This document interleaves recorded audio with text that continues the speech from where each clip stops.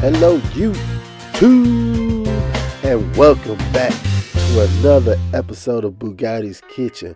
Today we have our risotto, aka my sticky rice. This is not with cheese, that's why I'm calling it Bugatti sticky rice. And here's what you're gonna need two bags of boiled in rice. We're gonna boil it until nice and soft. We're gonna get some cooking butter going into a pan. All right, just about a quarter stick of butter.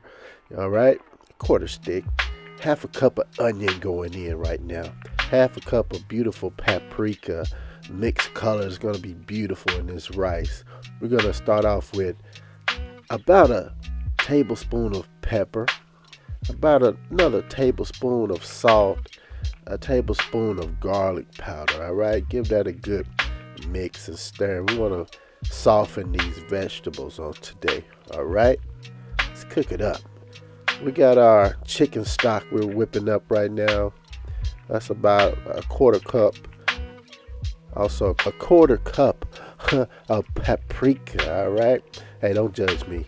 I'm cooking up in this kitchen and I'm in my feelings. We got a bag of rice. It's done. We're stirring that up in there right now. We're going to add that those beautiful vegetables beautiful vegetables going in there right now. And that that stock is going in, that chicken stock, just a little bit at a time, a quarter of a cup.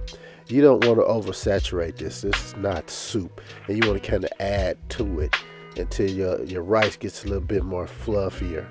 You see it's not sticking to the pan. It's not soup. That's the consistency that you want. And that's how it looks right there, all right? We're going to plate that up.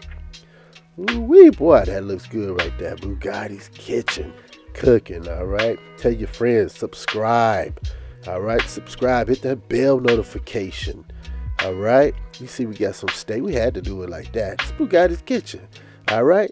The cook up continues.